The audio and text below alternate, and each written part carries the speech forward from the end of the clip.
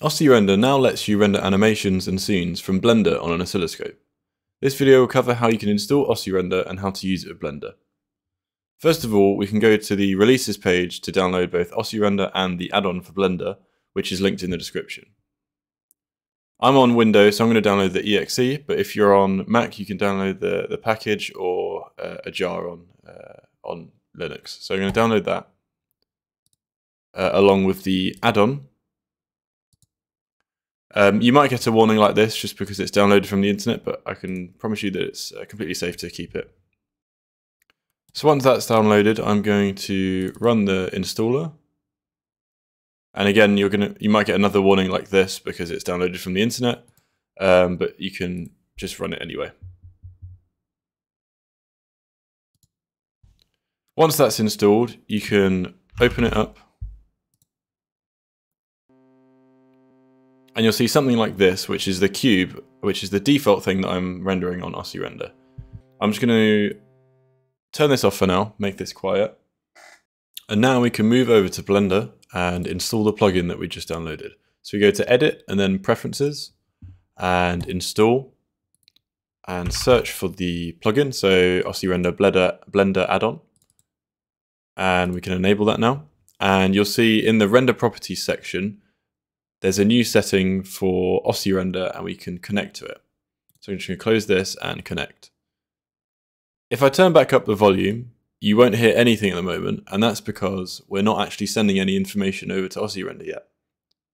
To do that, we'll need a camera in Blender, and we'll also need to give this object an outline and send that outline information to OsciRender. That's really easy to do, so you can just press Shift A to create a new camera. And I'm just going to move this camera out a bit. Something like that looks good.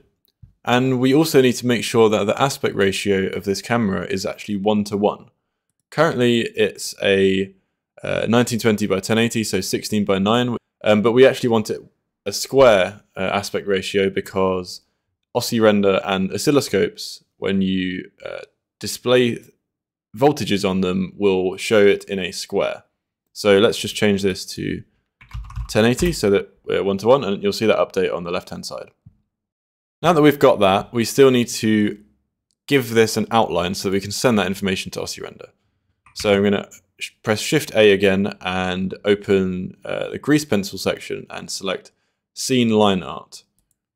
As soon as I do this, you'll see a, a, black outline along the edges of this, and that's exactly what we want because that's the information that is going to be sent to OsciRender. So if I go to the modifier properties here and then press Bake Line Art, what that's going to do is go through every single frame in my animation and apply this effect, give it the outline. And now if I turn up OsciRender again, it will receive these lines being sent over to it. And there you go, you can hear something. So I'm going to turn on the oscilloscope now. And you can see exactly what we see here on the left-hand side on the oscilloscope itself.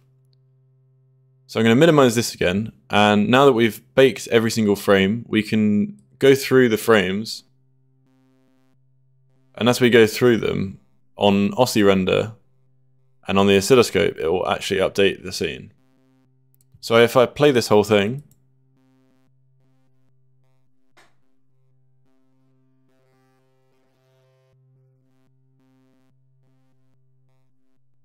you can see this animation play out. There are a few things that you might want to change to make this animation a bit nicer, particularly there's a line in the middle which might not be what you want when you go to this sort of angle. This looks a bit strange. So um, if we press continue without clearing and disable the uh, disable everything except from the contour, then bake line art again. Now we'll see that line in the middle has gone away. And if we play this, Now the animation looks quite a lot better. That's just a short overview of how you can use Blender with OsciRender. If you run into any issues, please do report them in the comments or on GitHub. And I'm excited to see what everyone manages to do with this. Thanks so much.